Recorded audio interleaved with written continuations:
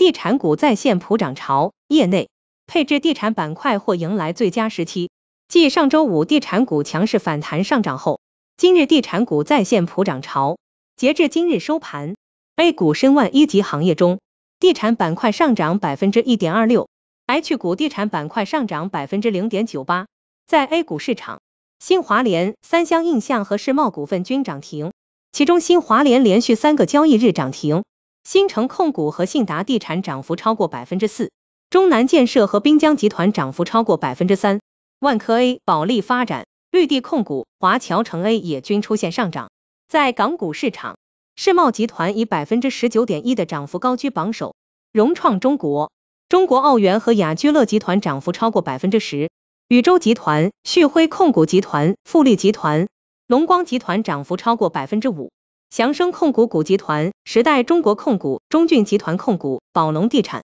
和景泰富、领地控股涨幅超过百分之四。今日地产股的普涨，或与近期多重利好消息有关。今日盘中曾有消息称，保利、华侨城、招商蛇口等九家央国企被要求通过收并购项目资产的方式，唯有中高风险的十一家房企提供流动性支持。而消息中涉及的房企股价均在今日出现上涨。此外，近日有消息传出，优质房企针对出险企业项目的城债式收购，相关并购贷款不再计入三道红线相关指标。更早之前的二零二一年十二月二十日，央行、银保监会出台关于做好重点房地产企业风险处置项目并购金融服务的通知，同样提到房地产企业的并购。去年十二月末，央行金融市场司司长邹兰曾表示，房地产企业间的项目并购是房地产行业化解风险、实现出清最有效的市场化手段。华泰证券认为，此次民营房企违约潮将促使房地产融资政策。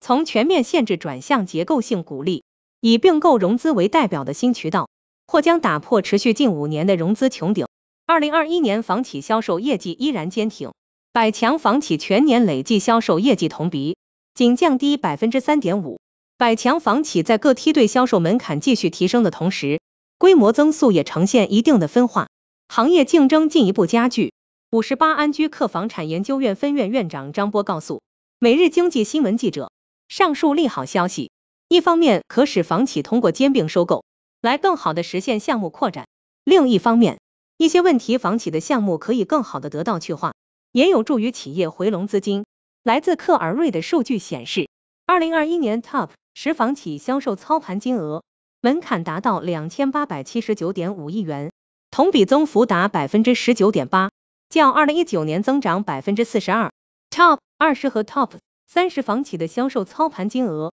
门槛也分别同比提升百分之九点二和百分之二点五，实现规模稳定提升。行业政策已经见底，在良性循环的指引下，信贷环境的持续改善将对市场成交带来利好。某头部房企 IR 告诉每日经济新闻记者，地产股相对较低的估值水平，或使其具有阶段性的相对收益，可进行阶段性配置，带动市场底部修复。目前或是配置地产板块的最佳时期。中信建投认为，由于去年上半年房地产市场增长高基数，今年上半年从数据层面依旧不乐观，预计今年三月开始的小阳春销售可能获得边际改善。因此，二零二一年四季度至二零二二年一季度基本面数据大概率继续下行，而政策暖意也会较为明显。这段时期是配置地产板块的最佳时期。近半年来，房地产股一直表现不佳，虽然期间也偶尔出现部分地产股大涨的情况，